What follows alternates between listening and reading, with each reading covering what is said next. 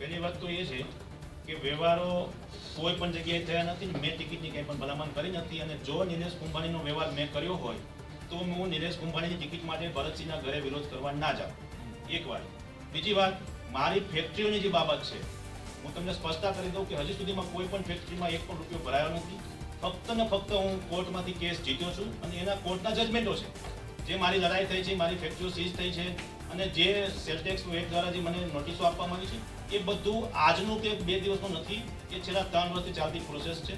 અને હું કોર્ટમાં જે લડાઈ કરીને હું જીત્યો છું, એમાં સરકારનો રોલ જીતવામાં ક્યાંય નથી, મારું સીઝ કરવામાં હતું અને સરકારે મને જો આજે છોડી દીધું, તો આજે મારી ફેક્ટરીના એક પણ જગ્યાએ પૈસા ભરાયા નથી અને હજી પણ એની સ્થિતિમાં છે અને મને કંપની તરફથી ઓફર કરવામાં આવી રહી છે, એટલે કે રિલાયન્સ કંપનીમાં મારી ફેક્ટરીઓનું પોઝિશન છે અત્યારે.